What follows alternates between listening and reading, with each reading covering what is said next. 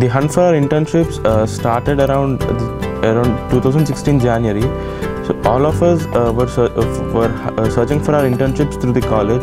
As I wanted to do something slightly different, uh, I approached Professor Frederick Jonti to ask him regarding any internship opportunities that he could help me with in France. So finally, after a couple of meetings, uh, I we finally zeroed zeroed down my opportunity in uh, CentraleSupelec in Metz. I definitely believe that uh, Professor Janti, who forwarded my resume to his colleague um, and my mentor, Professor Rossignol at uh, Supelec, I was offered a research internship program uh, wherein I, I worked in the IMS laboratory at uh, CentraleSupelec Metz. So IMS stands for Information, Multimodality and Signal.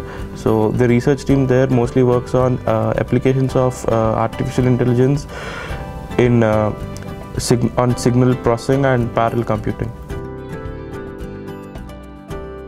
The domain I worked in was uh, primarily artificial intelligence. So we used uh, machine learning techniques to classify uh, genders when a large corpus of uh, speech samples were given. So support vector machines were used for the binary classification or, uh, or gender recognition uh, for a variety of speech samples. So this experiment was uh, conducted with both English and French language database. In terms of learning, I got to learn a large number of concepts which I was not introduced to earlier. So I, I could basically learn many new concepts in signal processing and also I was exposed to machine learning and its real-time applications in research. So I believe that this is a very enriching learning experience. Metz uh, is a very vibrant student town, uh, housing a large number of international students thanks to a uh, thanks to the large number of higher educational institutions.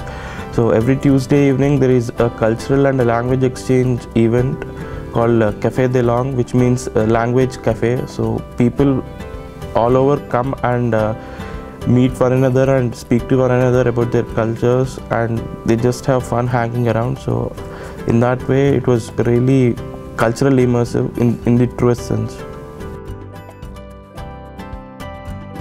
The main takeaways uh, from this internship program were uh, I was exposed to the research world and how it actually works. And uh, in, uh, so, any research experiment starts with procuring the correct data for your experiment, formulating a hypothesis, running the experiment, uh, ex- uh, deriving the results, and finally generalizing the results.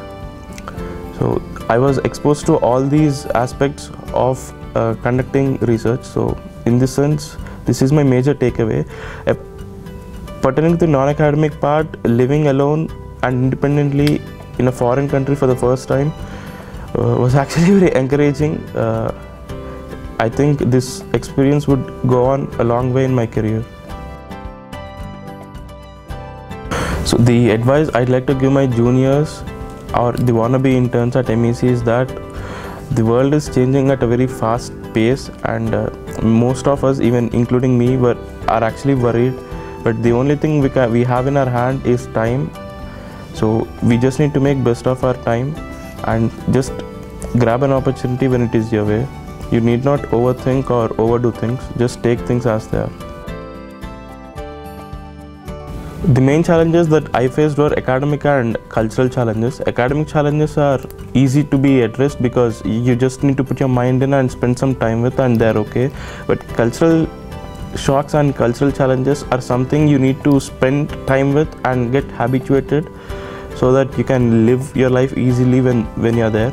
So, one important takeaway from this experience was uh, your knowledge of French language is very necessary to survive in France because people do not speak very good English outside of campuses, and yeah, this is something very useful.